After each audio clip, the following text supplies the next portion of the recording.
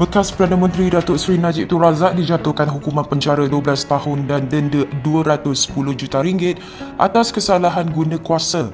Hakim Mahkamah Tinggi Kuala Lumpur Muhammad Nazlan Muhammad Ghazali menjatuhkan hukuman tersebut bagi tiga pertuduhan pengubahan wang haram dan tiga tuduhan pecah amanah setiap pertuduhan membawa hukuman penjara 10 tahun.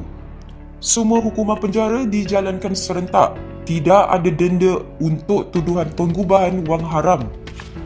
Dalam keputusan hari ini, Najib didapati bersalah di Mahkamah Tinggi Kuala Lumpur atas kesalahan menyeleweng 42 juta ringgit dana SRC International Sendirian Berhad.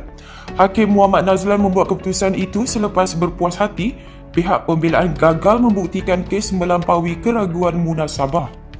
Najib yang juga ahli Parlimen Pekan didapati bersalah atas tiga pertuduhan pecah amanah jenayah, tiga pertuduhan pengubahan wang haram dan satu pertuduhan penyalahgunaan kuasa membabitkan dana SRC bekas anak syarikat 1NDB yang kini diletak di bawah Kementerian Keuangan.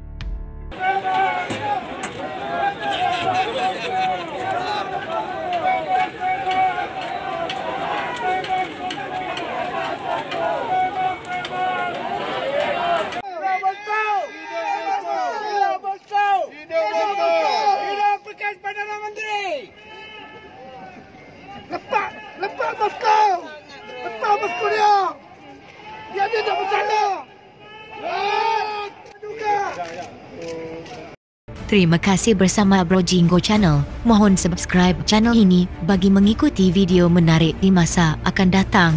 Jika anda menyukai berita ini mohon like dan share sebagai tanda sokongan anda. Sokongan anda amat dihargai. Terima kasih.